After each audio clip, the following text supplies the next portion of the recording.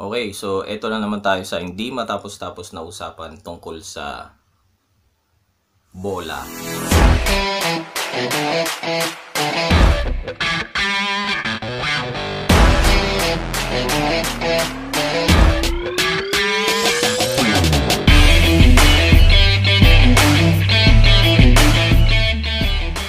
Yung mga nagpapa-shoutout po, shoutout ko kayo mamaya sa end part nitong video na to. Shoutout din pala sa mga bashers. Dun sa basher ko na sinabihan ako na walang alam. Kasi ipinagpipilitan niya sa akin na 1,200 RPM daw ang center spring. Ang stock na center spring ng Mio Sporty. Shoutout sa'yo sir. At sa mga bashers din na nagsasabi na binobola ko lang daw ang mga viewers ko nung, sin- nung sinabi ko na mas mabilis o mas maagang bumubuka ang mas mabigat na bola kaysa sa magaan. Ito ang video na sagot ko sa inyo. Wala naman tayong problema sa mga bashers ano. Kaya lang, ang pakiusap ko lang sa inyo, kapag mambabash kayo, samahan nyo ng education. I-educate nyo kami. Kung feeling nyo may sinasabi akong mali, ah okay lang na i-bash nyo ako. Walang problema. Pero, sabihin nyo rin yung side nyo. Sabihin nyo yung idea nyo. Bigyan nyo rin ako ng physics na susuporta dyan sa mga idea nyo. Kasi ako mostly physics ang basihan ko sa mga sinasabi ko dito sa channel na to eh. Ngayon, kung mambabash lang kayo, tatawagin nyo kung walang alam, o bobo, o mambobola, nasa sa inyo yan. Maraming salamat pa rin. Napakalaking tulong nyo. So ayan, nagbaklas tayo ng CVT. Yung bola dito ngayon, 15 grams. Ah, papaikutin natin siya sa 15 grams. Tapos sisilipin natin dito kung paano yung magiging galaw niya sa low RPM. Tapos tatanggalin ko 'yan. Tapos papalitan natin ng 17 grams just for the sake of this conversation. Yan. Tapos sisilipin natin uli dito kung ano naman yung magiging galaw ng 17 grams sa low RPM. Okay? Hindi ko na ipapakita yung pagbaklas ko nito. Kasi medyo gahol na sa memory tong tong cellphone eh. Pero cut muna tayo. Okay, tong bola na to 17, ito 15. Ngayon, ang gagawin natin, ikakarga natin tong mga bola na to. Una, straight na 15, paanda rin natin yung makina. Tapos, straight na 17, paanda rin natin yung makina. Sa mababang RPM lang, konting pihit lang. Kasi doon natin makikita kung sino sa kanila ang talagang mas responsive at unang bumubuka sa mababang pihit ng throttle. So para masiguro natin na pantay yung piga natin ng throttle sa magkaibang timbang na bola, naglagay tayo ng guhit. So ito yung zero piga. Nakatapat tong guhit na to dito. Tapos pipigain natin yan para tong guhit na to pumantay dito. Gagawin natin yan sa 17 na bola at sa 15 na bola.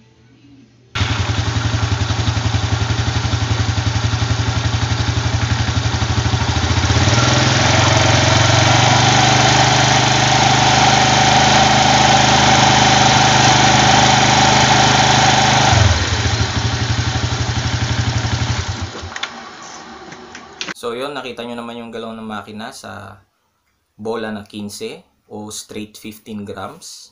Kung mapapansin nyo, sa mababang RPM, konting-konting-konti lang yung iginalaw ng belt. Actually, kung di mo nga tititigan, hindi mo makikita na bumuka yung, yung pulley sa likod eh.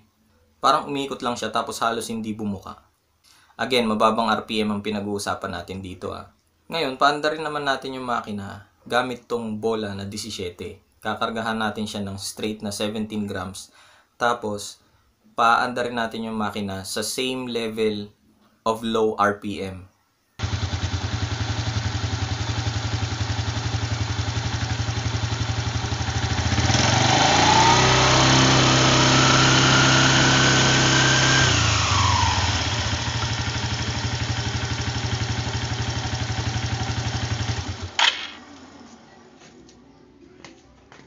So nakita nyo naman yung galaw, di ba? Mababang RPM pa lang, bumubuka na yung mas mabigat na bola. Alam ko yung mga bashers dyan, hahanapan nila ng butas tong test na to. Sasabihin nila, mas malakas yung piga mo dun sa 17 na bola, kaya bumuka agad, ganyan-ganyan. Kung mapapansin nyo, nung pinandar ko yung motor sa mababang RPM, gamit yung 17 grams na bola, umaatras yung motor. Well, yun ay dahil sa hindi ko kasi naisipan na pigilan yung ng paa ko yung center stand ng motor. Kaya dahil sa vibration, umaatras siya. Yun lang yung dahilan nun, hindi dahil sa mas mabigat yung piga ko. Ngayon baka sabihin nyo rin, mas matining yung tunog ng makina nung pinaikot ko yung 17 na bola. Yun ang katunayan na mas matdiin yung piga ko. Hindi guys, hindi ganon. Kaya mas matining yun kasi kung mapapansin nyo, yung yung yung clutch bell ko, may mga butas-butas siya. At pag umiikot na siya ng mas mabilis, nagpumipito siya for some reason dahil sa mga butas na yon parang nagki-create siya ng tunog na para siyang pumipito. Yun yung naririnig nyo na matining na tunog. Pero hindi ibig sabihin na mas malalim yung piga ko. Nakita nyo naman ginuhitan ko siya eh. Kung hanggang saan yung piga ko ng throttle eh. Pantay ang piga nila ng throttle guys. Okay? Kung, kung wag kayo magpo-focus dun sa matining na tunog, mag-focus kayo dun sa tunog ng makina, maririnig nyo na pantay sila ng RPM rate. Pero bakit ganon? Sinasabi ng iba na kapag daw magaan yung bola, buka daw agad yun. Bubuka daw agad. Kung gusto mo daw bumuka agad yung transmission mo o yung variator mo, magmagaan ka daw na bola. Pero bakit sa test natin, baliktad yun nangyari? Kasi guys, tong mga bola na to, wala naman isip tong mga to na kusang gagalaw eh. Gumagalaw sila dahil sa tinatawag na centrifugal force. Pag umikot na yung variator mo, gagawa yan ng centrifugal force. Okay? At sa physics, balikan nyo yung physics nyo nung high school or nung college. Sa physics, actually merong ano yan eh, merong formula dyan eh. Pero hindi na natin kailangan itakil pa yung formula na yan kasi aabutin tayo ng siyam-siyam. Ang basic niyan is sa physics, pag mas mabigat yung bola, sa pamamagitan ng centrifugal force, mas mabigat na bola, mas nagre-require ng less centrifugal force para pumunta siya sa palayo sa sentro kumpara sa magaan. Kung makakabili ka ng bola na walang kahit anong timbang, sabihin na natin may ganun. Kunwari makakabili ka ng bola walang kahit anong timbang. Same same size, wala lang talagang timbang. Pag ikinarga mo yan sa variator mo, kahit anong piga mo, isagad mo yung RPM ng motor mo, walang mangyayaring pagbuka. Dahil walang timbang na ibinabato palabas yung centrifugal force. Ngayon, kapag step by step mo yan nadadagdagan ng isa pa isa isang gramo, kunwari walang timbang, tapos gagawin mo 1 gram, 2 gram, ah, 2 grams, 3 grams, mga ganyan. Habang tinataasan mo yung gramo niya, mapapansin nyo rin na kung same lang lagi yung ikot ha, mapapansin mo rin na yung habang bumibigat siya, lumalayo rin yung bato niya dun sa bola. Again guys, physics ang backup ko sa pagsasabi ko niyan. Hindi yung mga sinasabi lang ng mga marami, yung madalas lang marinig at yung uso. Itong mabigat na bola, ito yung 17, ito yung 15. Ang mabigat na bola, kung responsiveness as ang pag-uusapan, mas responsive ang mabigat na bola. Again, pag sinabi mo kasing responsive, yung konting pihit mo pa lang ng throttle, nagre-respond na kaagad yung variator mo. May pagbuka na agad na nangyayari. Yun ang ibig kong sabihin sa responsive ha. Hindi yung sa iba kasi pag sinabing responsive, ang pagkakaintindi na eh, talagang harurot yung acceleration o yung arangkada eh. Hindi ganon. Pag sinabi mo responsive, konting pihit mo pa lang, nagre-respond na kaagad yung variator mo. Ang mabigat na bola, mas responsive siya compared sa magaan. Bakit ko yun nasabi? Kasi nga, dahil, kon, dahil sa mababang RPM pa lang, eh bubuka na siya. So, konting pihit mo pa lang, nararamdaman mo kaagad na nag-accelerate ka dahil sa pagbuka ng variator mo. Pero, ang arangkada o acceleration na maibibigay sa iyo ng mabigat na bola, responsive yan oo. Pero ang acceleration niyan is average lang. Kumbaga yung madalas na acceleration lang ng isang stock na scooter. Sa mas mabigat na bola naman, since ang mas, mabigat na bola ay nagre-require ng mas mataas na RPM para bumuka yung variator mo, magkakaroon ka ng delay. Well, pag kumapit na yung clutch spring mo, uusad na yung motor mo, oo. Pero, kapag ka sa mababang RPM lang yung diin mo, maririnig mo na medyo umuungol lang siya. Hindi mo, mararamdaman mo na hindi bumubuka yung variator eh. Hanggang sa idiin mo siya. Pag diniin mo siya, doon mo mararamdaman na bumubuka yung variator.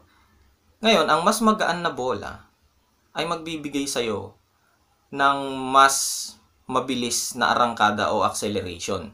Yun ay dahil nangyayari yung pagbuka ng variator mo sa mataas na RPM. So sabihin na natin ito yung mabigat na bola, ito yung magaan. Kunwari man, sabay silang sabay sila ng time na tinitake para bumuka. Ito bumubuka sa mababang RPM, yung mabigat na bola. Yung magaan na bola bumubuka sa mataas na RPM. At syempre, ang logic niyan since bum- nag-shift ka sa mas mataas na gear ratio sa mas mabilis na ikot, eh mas may sensation ka talaga na mas mabilis ang arangkada niya. Pero yung arangkada na yon mararamdaman mo lang pag idiniin mo yung throttle. Ngayon, ano bang tamang bola talaga para sa akin? Yan ang madalas niyong tanong eh. Ngarot TV, ganito yung motor ko. Ano bang magandang kombinasyon ng bola? Ano bang dapat na bola para sa akin? Kung mapapansin nyo, minsan hindi ko na sinasagot yung tanong nyo eh. Kasi it's either yung sagot nandun na mismo sa video na yon hindi nyo lang inintindi. Pangalawa, hindi kasi ako pwedeng magbigay ng tuning nyo sa bola at sa springs nang naayon sa preferences ko. Kasi yung preferences ko, swak lang yon para sa akin at hindi ibig sabihin nun swak din para sa inyo. E pag nagbigay naman ako ng, ng ganitong klaseng kombinasyon, tapos ginamit nyo hindi kayo natuwa, eh di babalikan nyo naman ako, magagalit kayo sa akin. Ang purpose ko lang sa video na to is ipaunawa sa inyo kung ano yung magagawa ng magaan at mabigat na bola. Tapos kayo ang magdesisyon kung alin sa dalawa yung feeling nyo na magsusut dun sa riding habit nyo. So, yun, ganun kasimple. Ay, hindi nyo naman kailangan talagang tanungin ako ng tanungin kung ano ba yung tamang bola para sa mga motor nyo eh. Base sa mga napapanood nyo dito, kapag may idea na kayo kung para saan yung magaan at mabigat na bola, dun pa lang alam nyo na eh kung anong bola ba yung para sa riding habit o riding style nyo. So, shoutout na tayo!